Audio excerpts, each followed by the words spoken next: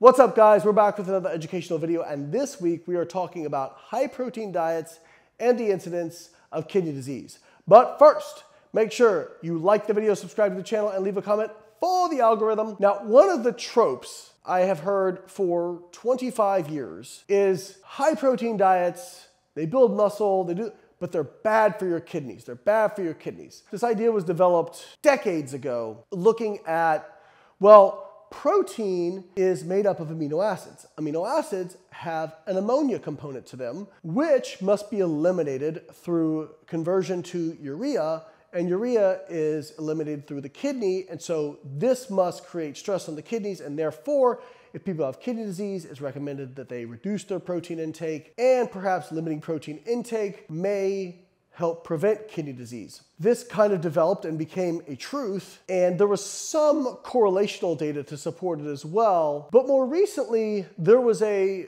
meta-analysis of human randomized control trials that actually found that high protein diets did not lead to more kidney disease. And some people said, well, those human randomized control trials, they're short. How long does it take CKD to develop? Well, recently, a new meta-analysis of prospective cohort studies came out looking at the incidence of CKD and dietary protein intake, and then further segmented it into animal protein intake and plant protein intake. And so the difference between this meta-analysis and the prospective cohort data was they excluded studies that reported protein intake and its effect on progression of kidney disease. So this was looking at protein intake on healthy kidneys and the incidence of kidney disease. They also excluded if they didn't adjust for age, they excluded retrospective studies, and they excluded studies that did not report actual outcome data. So the incidence of actual kidney disease, not some surrogate marker. So out of these studies,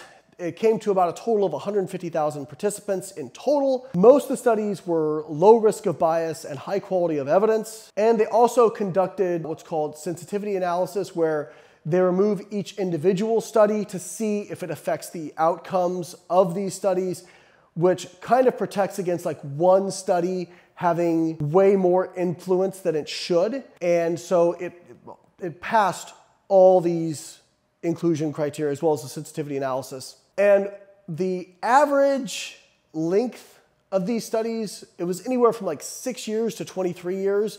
Most of them were in that like 10 to 15 year range. And so looking at, all right, of people who develop kidney disease, were they more likely to have higher protein intakes, lower protein intakes, moderate intakes? What they found was higher total protein reduced the relative risk of kidney disease incidence by 16%. That even held true for animal protein, which reduced the risk of kidney disease incidence by 14%. Now, to be fair, so a few of these cohorts, the protein intake was weighted heavily towards fish, and so that may have affected it, but it tended to hold true across all these different studies. And plant protein was associated with a 20% relative risk reduction in the incidence of kidney disease. Now, what I had trouble finding in this study was what do they consider high protein? What do they consider low protein?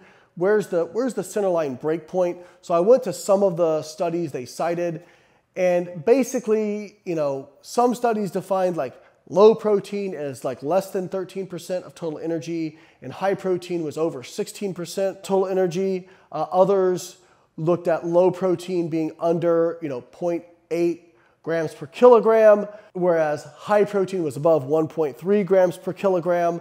So there was some heterogeneity in terms of what they defined as low or high protein, but pretty consistently higher protein intakes were associated with a lower risk of kidney disease incidence, which fits with the previous meta-analysis of human randomized control trials demonstrating that high protein intakes do not harm healthy kidneys. And that has been a pretty consistent result in these human randomized control trials, as well as these really well done prospective cohort studies. When we say a prospective cohort study, we also have to realize that reverse causality can also be the case. So in this case, reverse causality could be people with healthier kidneys just tend to eat higher protein. But that would indicate that there's some kind of link between the kidney and the brain that would cause people to select higher protein foods if they had better kidney function.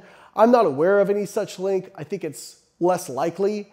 And so I think reverse causality is somewhat unlikely in this case. Is it possible that protein doesn't really have a protective effect? I mean, we did review a study previously that showed that higher protein intake led to healthier aging in older people, and that was true whether it was animal or plant protein, although plant protein had a much more powerful effect than animal protein on healthy aging. And so, you know, could these people just be healthier overall? And that helped. Absolutely, absolutely it could. People who have higher protein intake could be more active, all that kind of stuff. But I think what it does show is certainly high protein does not appear to be detrimental.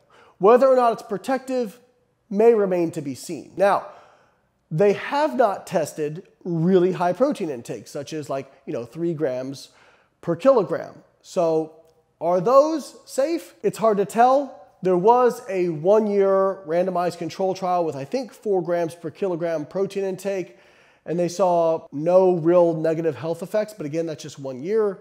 So that sort of stuff remains to be seen. We're going to need more data. But as of now, at least moderately high protein intakes do not appear to be detrimental to kidney function or the incidence of kidney disease. Guys, again, if you like how we break down these studies, make sure you check out our research review, REPS.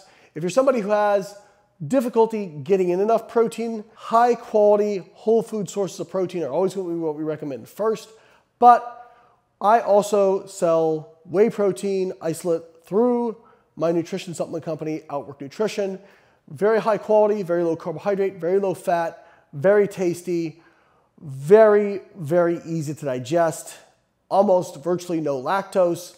Um, most people who have GI issues find they tolerate this well. So if you're interested in that, you can click the link in the description. Again, not magic, but just a cost-effective, tasty, high-quality protein that's easy to take in and digest. All right, guys, hope you liked the video, and I'll catch you next week.